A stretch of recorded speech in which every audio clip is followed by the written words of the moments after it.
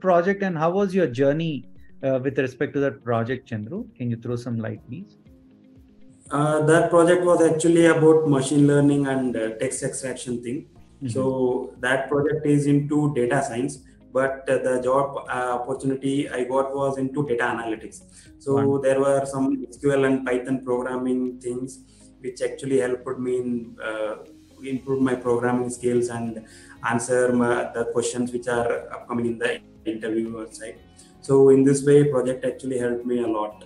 And the research work which we are doing during the project work so that also helped me to get to know about the things and the research about the company and the job role and what all the responsibilities might arrive and what kind of questions may be asked in the interview. So this uh, these many skills actually helped me a lot. Wonderful wonderful. I'm uh, extremely extremely happy for you right and uh, hopefully a lot of people will follow your footsteps and get into the so-called MAANG companies right? Meta yeah. apple amazon yeah and google netflix etc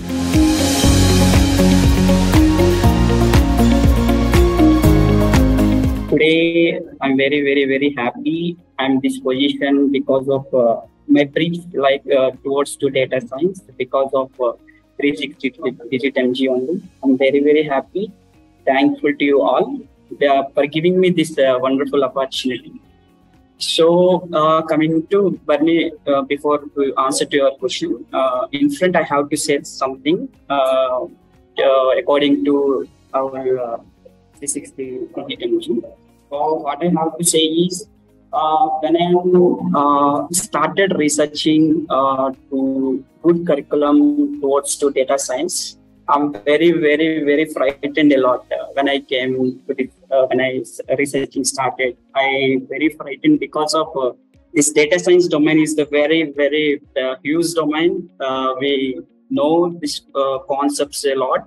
So before doing this, I do some research to some which which is, training institutes is the best institutes. when I'm doing researching on that, I faced so many problems. I attended uh, so many uh, demo sessions, demo classes, uh, so many training institutes. When I am, uh, so I have uh, research, uh, researching while I am doing research, I came to know that about 360DigiTMG, teaching about curriculum. It's a very, very good curriculum towards data science courses so I, in uh, when I uh, my first session is uh, with uh. I very very uh, happy when I returned uh, that session.